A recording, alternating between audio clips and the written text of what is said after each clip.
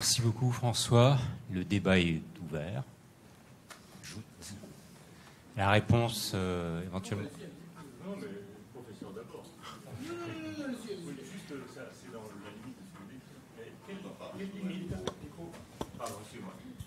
Quelles limites peuvent euh, mettre euh, le fait d'avoir de larges places de fibrose ou de larges places de myocarde nécrotique dans un ventricule gauche dans l'indication d'une resynchronisation Et où placez-vous la sonde de resynchronisation dans le ventricule? C'est vrai qu'aujourd'hui, dans les, recommandations, euh, on ne parle, pas, parle pas de la fibrose parce qu'il n'y a, pas eu, euh, eu que des registres, il n'y a pas eu d'études.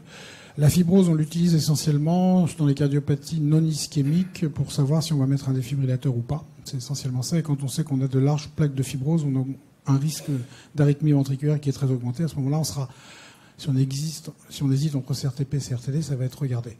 C'est sûr qu'une large plaque de fibrose akinétique si on met la sonde à ce niveau-là, ça ne sert à rien. Donc il faut essayer de la mettre ailleurs. Et parfois, on, récuse des patients parce que justement, ils ont un ventricule gauche qui est tellement euh, fibrosé, tellement akinétique, qu'à part changer le ventricule ou mettre une assistance ventriculaire gauche, ça ne changera rien. Donc des fois, on a des non-indications liées à l'imagerie parce qu'on a des plaques akinétiques. Et quand euh, voilà, quand, ça ne veut plus se contracter, vous allez beau faire tout ce que vous voulez, ça ne se contractera pas. Donc euh, ça peut être aussi une non-indication. Mais euh, je rejoins tout à fait François, hein, je pense qu'en fait on, est d'accord. Il faut souvent on regarde la fraction d'éjection et, François a dit quelque chose de très important. Vous avez une fraction d'éjection à 25% avec une grosse IM, puis après vous avez une fraction d'éjection 25% mais plus d'IM, c'est pas du tout la même chose. C'est-à-dire que votre fraction d'éjection c'est quand même un peu amélioré. Donc je suis tout à fait d'accord avec euh, l'évaluation multiparamétrique de François. Alors bon, j'étais resté dans mon rôle, mais la resynchronisation, c'est très rarement une urgence. C'est très très rarement une urgence. Bien évidemment, il ne faut pas euh, perdre de vue le patient, mais je suis tout à fait d'accord avec euh, François pour un optimiser maximum le traitement médical. Le traitement médical, et ça, c'est vraiment des patients qui doivent être suivis, revus pour que vraiment on donne toutes les drogues et qu'on augmente les doses si on peut. Deuxièmement, un suivi échocardiographique, c'est pareil. Peut-être trois mois, six mois pour voir l'évolution. Si on voit qu'à six mois, ça n'a pas du tout bougé, là, je pense qu'on est en droit de le faire. Et puis, François dit quelque chose de très important. Moi, je, passe pas ma vie, mais presque, enfin beaucoup de temps en tout cas, à implanter des, des pacemakers, des défibrillateurs, mais je passe aussi beaucoup de temps à enlever les sondes, notamment pour infection.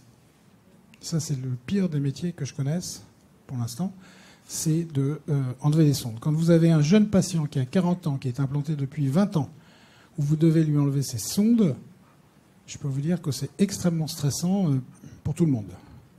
Aujourd'hui, on a des outils qui simplifient un peu la vie, mais quand vous, on a des espèces de petites gaines euh, qui sont comme des Pac-Man qui, qui avancent, qui grignotent, parce qu'en fait, les patients ont de la fibrose au niveau de la sous-clavière, ils ont de la fibrose au niveau de l'oreillette droite, ils ont de la fibrose souvent au niveau de la tricuspide.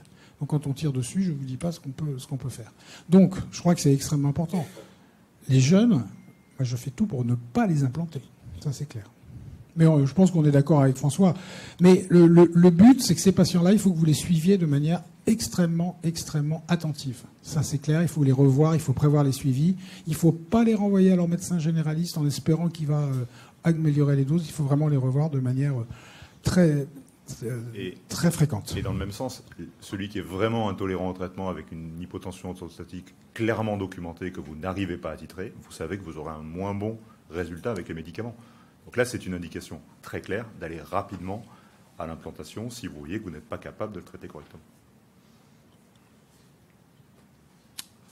Une question là En attendant le micro, je rejoins François Picard. Attention à Strong HF c'est euh, pour 80% euh, de la population. Nous, on voit en, CHU des malades jeunes euh, qui compensent en périphérie.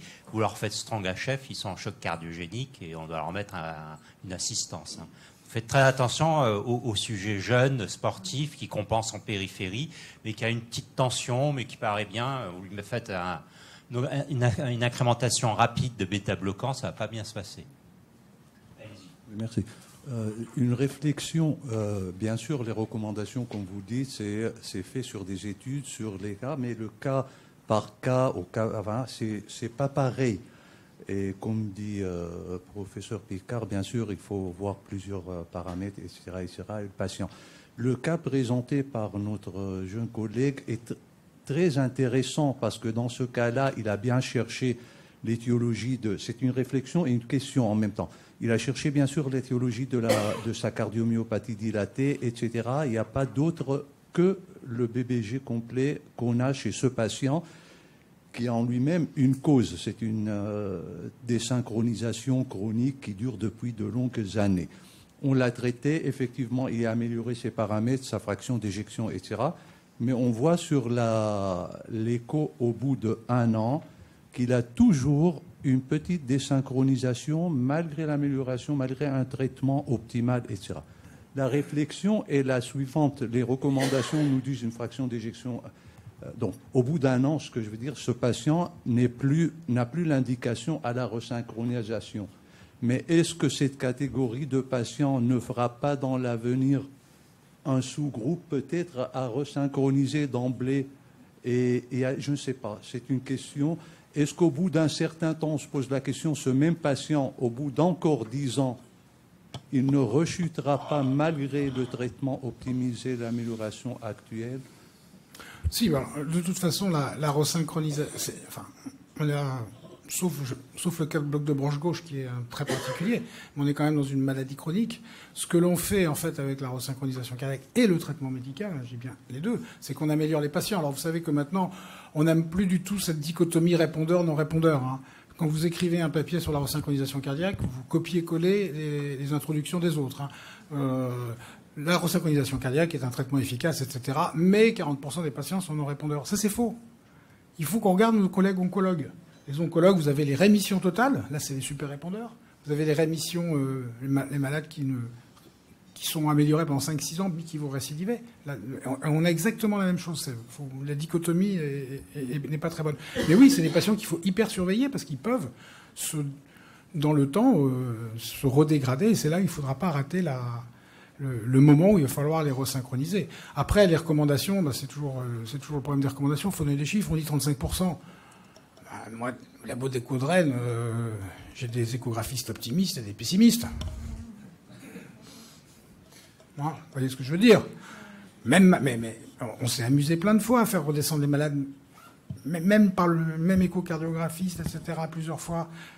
Bah, il y, a une variabilité inter-observateur. Donc voilà, faut pas regarder. On dit 35% dans les recommandations parce que ça a été les critères d'entrée dans les études. Mais je suis tout à fait d'accord avec, euh, avec François. Il faut regarder autre chose. Et puis aujourd'hui, avec l'imagerie, on a tellement de paramètres qu'on peut quand même euh, affiner un peu les choses, même si c'est pas les recommandations. Je devrais peut-être pas dire ça, mais en pratique, euh, c'est comme ça. il y avait une question derrière Guillaume Jondeau, puis Guillaume Jondeau.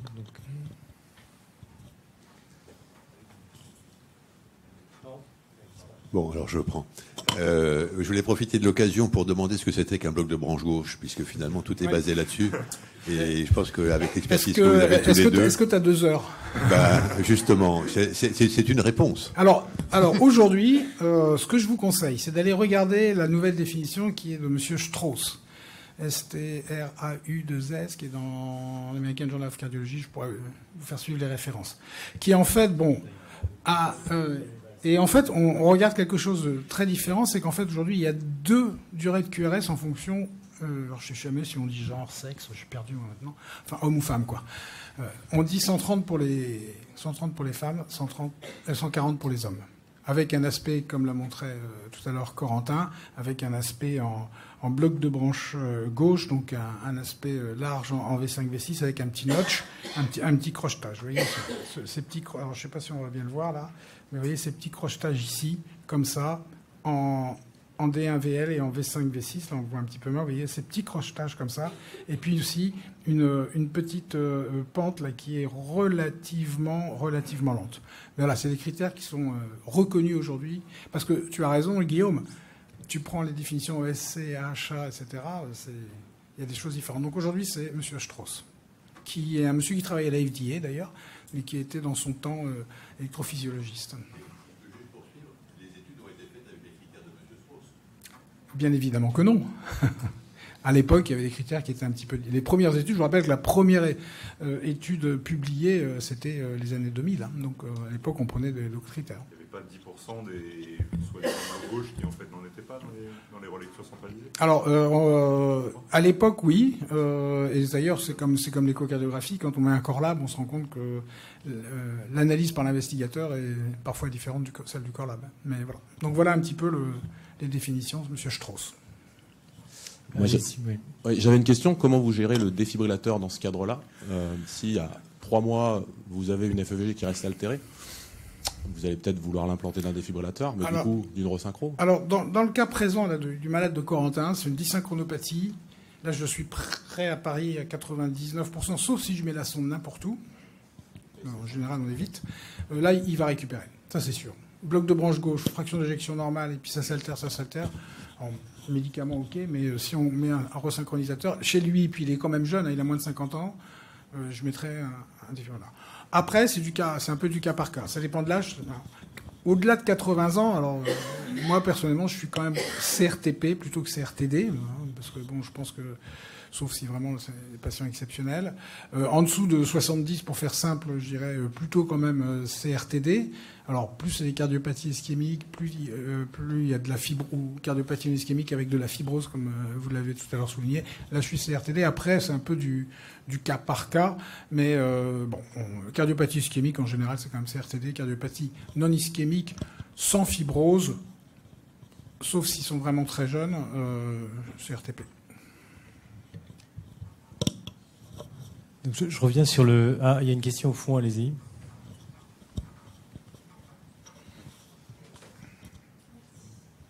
Moi, j'ai une question donc sur les cardiomyopathies dilatées, donc purement conductives sur la dysynchronopathie. Euh, du coup, lorsque vous leur implantez donc euh, la CRT et au bout d'un moment, ils vont récupérer complètement euh, de leur cardiopathie, est-ce qu'on peut imaginer une désescalade thérapeutique puisqu'on imagine que c'est vraiment le côté conductif qui était responsable de la cardiopathie qu'on l'a traité? Alors, euh, j'irai même plus loin, mais euh, la question, c'est est-ce qu'il ne faut pas commencer d'abord par les resynchroniser et puis on verra. en général, c'est pas ce qu'on fait quand même. On leur donne des traitements médicaux, mais c'est sûr que si on a une histoire de dysynchronopathie avec une bonne réponse à la CRT, je tente une voire un arrêt des, traitements. Parce que je pense que là, c'est vraiment une maladie électrique qui donne une maladie mécanique. On a réussi à corriger l'anomalie électrique, donc on pense, euh, avec le couplage excitation-contraction, qu'on va quand même améliorer. Donc chez ces patients-là, oui, euh, je, tente une, désescalade thérapeutique. Et pour rebondir sur la question qui a été posée tout à l'heure, tant qu'il n'y a pas de problème de sonde, ce, ce malade n'a aucune raison de se dégrader. Vous n'aurez pas d'échappement au retour. On a des patients qu'on suit comme ça depuis... Euh, des, patients qui se sont normalisés, 15 ans après, ils restent normalisés. Il n'y aura pas de dégradation, sauf si on perd la resynchronisation pour une raison X.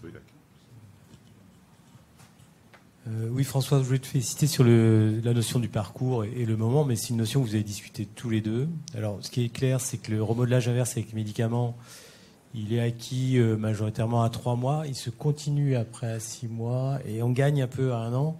Mais je pense que la fenêtre de trois mois est sans doute la, zone de tir idéale.